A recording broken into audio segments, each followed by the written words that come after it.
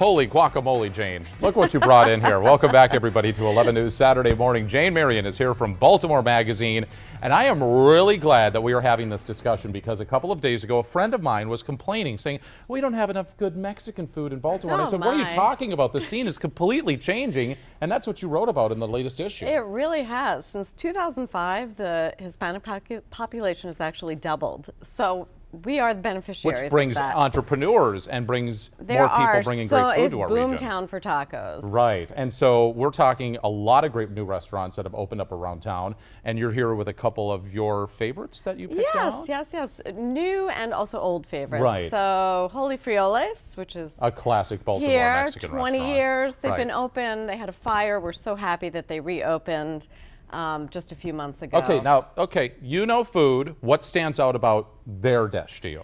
Well, the the fun thing about Holy Frijoles is you go for the fun. You go Right. for the pinball. You Uh-huh. go for the video games. It's Maybe a margarita, too. Definitely margaritas. Yeah. Cheap tacos on Tuesday. Dollar dollar tacos. Oh, who you can can't beat, that. Okay, so that's like a Baltimore classic. And then you also brought in one of the newer players in town. Yes, Cocina Luchadores in Okay. uh, Upper Fells. Say that again.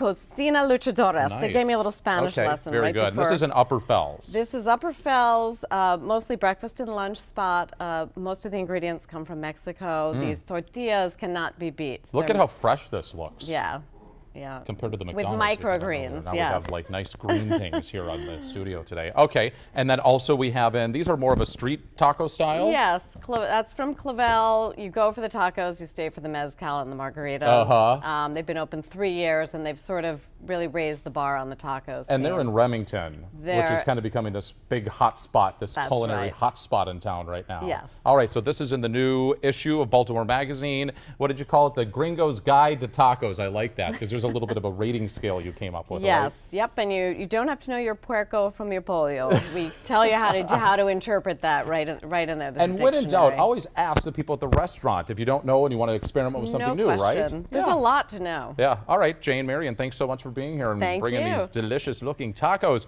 All right, don't go.